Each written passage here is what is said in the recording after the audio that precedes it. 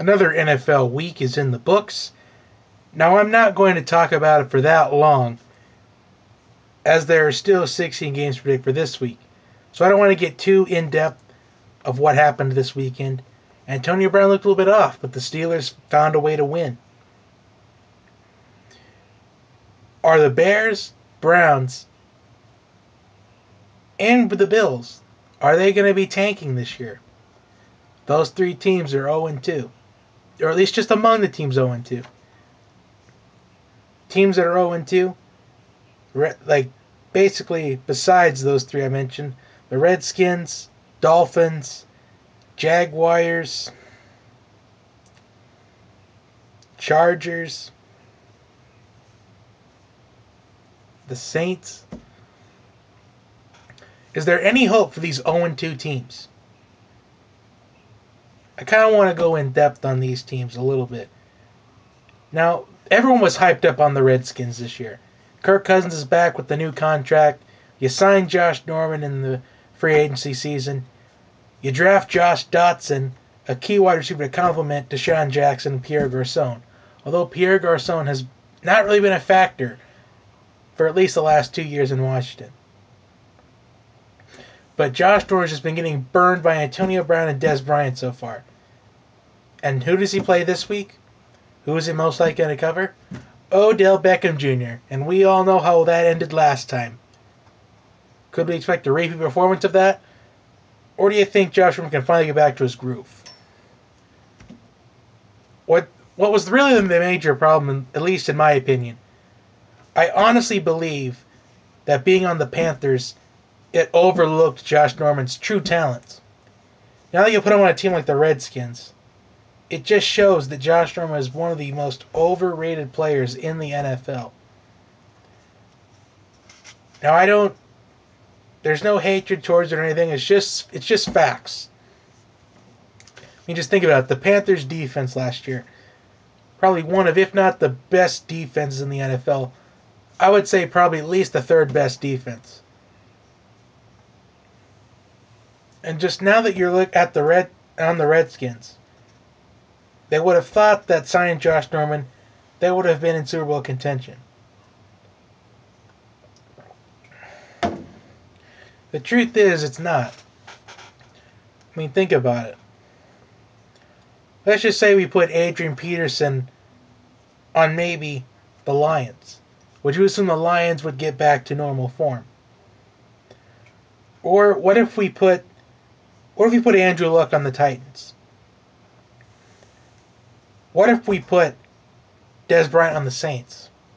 What if we put Julio Jones on the Dolphins?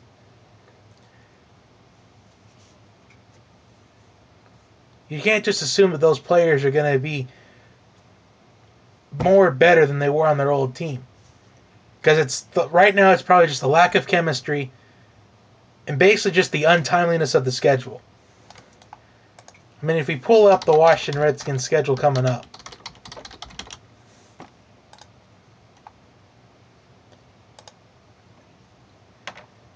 their next three games after this one the Browns, Ravens, and the Eagles. Now, these are plenty of times for Josh Norman to get back to his groove, and then the Lions on the road. Those next four games, those could be the games that Josh Norman can get back to form. So it's too early to question whether Josh Norman being on the Redskins is an expensive mistake. Right now it's looking like it is, but there's still some time left to determine that maybe it wasn't bad after all.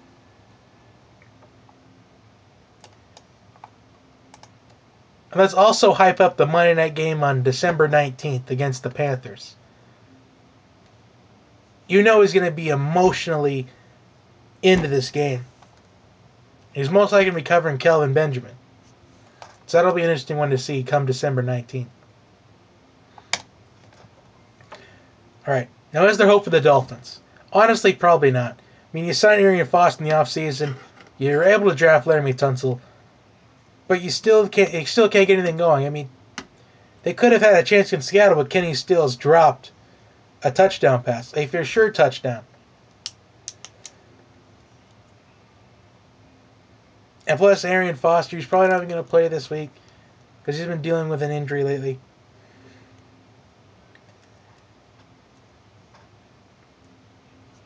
And they didn't really stand a chance against New England. I mean, they were competing with them a little bit, but they just couldn't get the job done. They couldn't find the ways to get it done.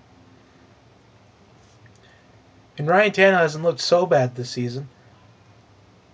But the Dolphins need to get a win together. Maybe a win this week can get the momentum going. Right, the Jaguars.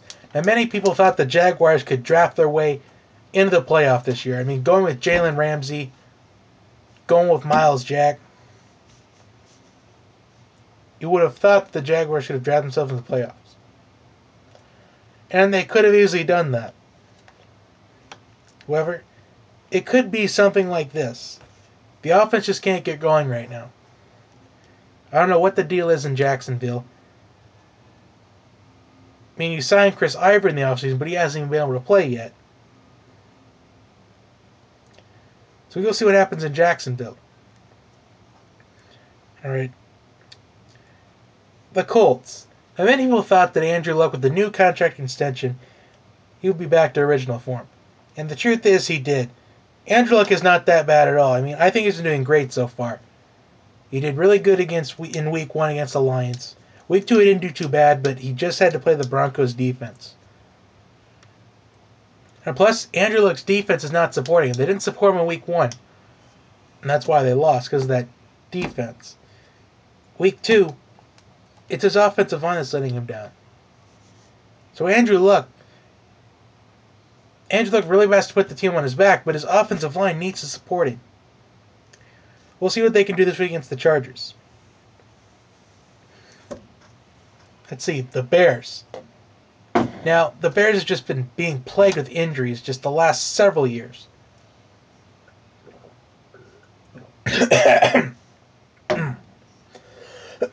I hate when that happens. anyway, Brian Hoyer is right now the quarterback for the Bears. Should the Bears just tank and see if they can just try to get to Deshaun Watson or maybe a solid pass rusher on defense? Because the Bears used to be known for their defense especially with Mike Ditka. but now, when we're in the early 2000s, in the 2010 era, in this decade, it's like the Bears just don't know who they are anymore. And I know Bears fans are just getting really frustrated. However, we'll just have to see what happens with the Bears, whether they decide to tank or they try to win some games. Because the Bears are just a broken down team right now. And so are the Saints. I mean, Drew Brees is just really trying hard. He put the team on his back in week one, but they lost against a two point conversion call. That was beyond Drew Brees' control.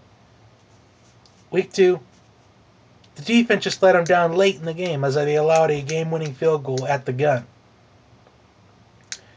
Maybe this week, Monday night against the Falcons, we will see as it's hyped up to be the 10 year anniversary of the first game in the Superdome after Hurricane Katrina. Well, maybe not necessarily anniversary, but 10 years ago on a Monday night. So this is hyped up to be an interesting game for the Saints. A very emotional one indeed. So on to the week three predictions. Now I'm going to make this really quick because I've gone on as long as I've originally anticipated. I don't want another 20 minute video. Before I do that, Let's read a comment from someone from last week. Someone said, I don't really want to expose the person, but it says, Do not bother watching this crap video if your team is not Arizona, Denver, Carolina, New England, or his beloved Falcons, meaning me being a Falcons fan, then your game is a crapshoot. This guy watches ESPN and repeats what he hears. The only thing he brings new is the word crapshoot.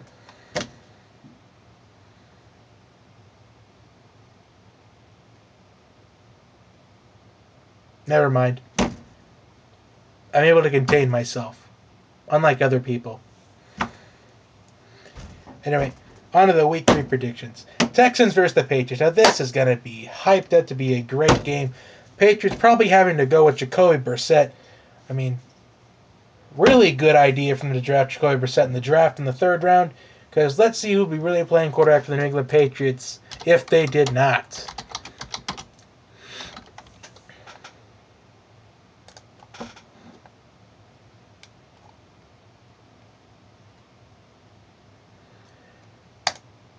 It's only hard to imagine who it would be.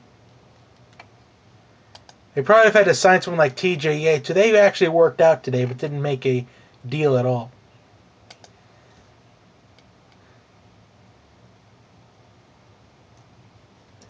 Or they would have had to find someone from the practice squad.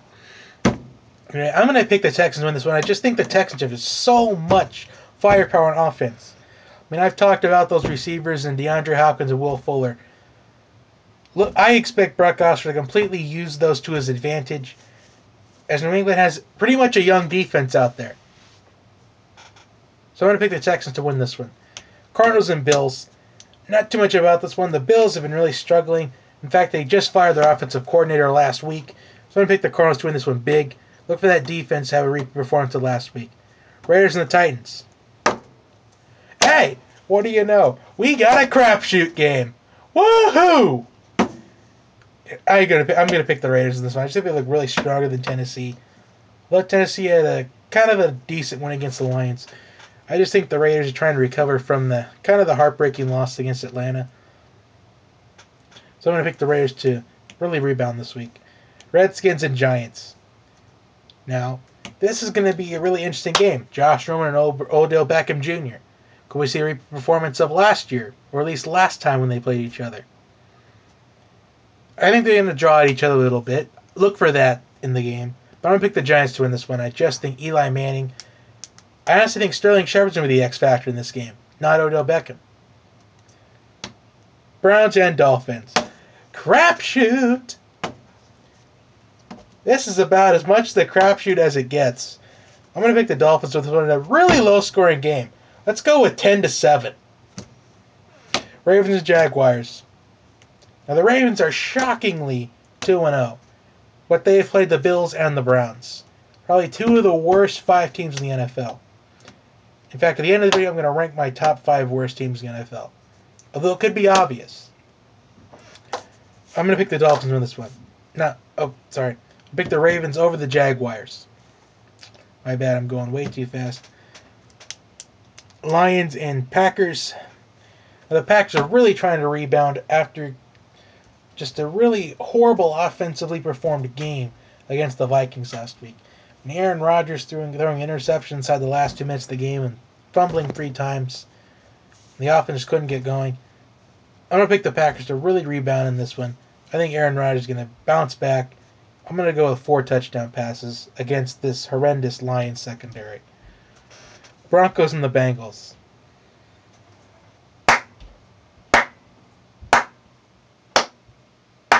Crapshoot. It's only a crapshoot because not because these teams are awful, but these teams are so talented. But I'm going to pick the Bengals in this one. I just think that defense is really going to get to Trevor Siemian. I honestly think this will be a highly defensively tested game, so I'm going to go with about 20 to 14 in favor of the Bengals. I like AJ Green to be the difference maker. Vikings and Panthers. I just think the Panthers are going to easily handle the Vikings, especially that Adrian Peterson. Sam Bradford kind of has a bruise on his hand, but I don't think it's going to be a big deal. Although I just like the Panthers' defense in this one. I just think they're going to really get to Sam Bradford in this one. And whoever they're going to play running, whether it's Jerick McKinnon or Sam, Matt Asiata, I just think the Vikings running game is going to be a little non-existent in this one. So I'm going to pick the Panthers to win by at least 14 points. Plus, I think the Vikings are a little too overly confident after that upset win against the Packers last week. Rams and the Buccaneers. Guess what? Crapshoot! I will pick the Buccaneers in this one. I just think the Rams are going to continue to struggle they may be one and one, but they have yet to score an offensive touchdown. In fact, the Rams have only scored nine points in two games. So I'm going to pick the Buccaneers to win this one. I think they can actually win by double digits in this one. All right, 49ers and Seahawks. Now this, this, no, I will not say it is what it is. However, the Seahawks are in panic mode. They need to get something going. I think they're going to get this against the 49ers. I like the Seahawks to I like Russell Wilson to easily make his comeback. I think we're going to see Russell Wilson like we used to. I'm going to pick the Seahawks to win big. Jets and the Chiefs. This is going to be a great one. Highly defensive tested. I'm going to pick the Jets, though. I think the Chiefs are a little too overly emotional about last week's loss against the Texans. And plus, I think the Jets are just rolling this this year. I think they're going to roll into the playoffs. That's what their mentality is. I don't think the Jets, Chargers, and the Colts. You know what we got in this game? A crapshoot. Both these teams are 0 2. Both these teams are really going downhill. But I'm to pick the, the Colts to win this one. I just think Andrew Luck is going to find the receivers he needs. In fact, I like this game to actually probably be in the high 40s. Let's go with 42 to 38. Both quarterbacks are going to throw for about five touchdowns apiece. I'm willing to bookmark that. But I like the Colts to win this one. Steelers and the Eagles. Now I'm going to take the Steelers in this one. The Eagles have done really well. Carson Wentz is looking so well. But he's played the Browns and the Bears. This is kind of his first real test, and I think I just think the Steelers are going to win this. Even though if Carson Wentz plays really well, I just think Antonio Brown is going to be the difference in this one as he struggled last week. I like him to get back to form against this Eagles secondary. Bears and the Cowboys. I want to pick the Cowboys because the Bears they're just getting plagued with injuries left and right. I think the Bears probably should actually consider tanking this one. I think they should just tank for the rest of the year as well as the Browns. I want to pick the Cowboys. Now, finally, the Falcons and the Saints. I'm going to pick the Saints this one, and although I think my Falcons can really win this game, I just honestly think that they don't do well in division games. We saw what happened in Week One against Tampa Bay, as they allowed Jameis Winston to throw four touchdown passes. I and I, plus I think the Saints going to play with such heart and emotion, especially especially this is going to be the this is going to be the ten years ago after Hurricane Katrina their first game. I think it's going to be a repeat performance, although I don't think it's going to necessarily be a blowout. I think the Falcons will compete hard in this game, but I like the Saints to actually win this. I like it to be about 31-23. Well, that's going to do it for your week two, week three NFL predictions. As far as the five worst teams in the NFL, it's obviously the Browns, the Bears, Dolphins, Bills right now. It's obviously the Redskins. Those are the top. Those are the five worst teams right now, at least. Could any of those five teams make a comeback and win this week? We'll soon find out. Anyway, like and subscribe to the channel. So close, 400 subscribers. I can almost taste it. I mean, it, it doesn't matter whether if, like, some of you just create random accounts and just subscribe to it. As long as I get it, that's all I care about. Sometimes you gotta do what you gotta do. Anyway, I will see you next time. Have a great day, everybody. Follow my Sportster account at JB Talk Sports. Also, share this video with your friends. Put me on the map.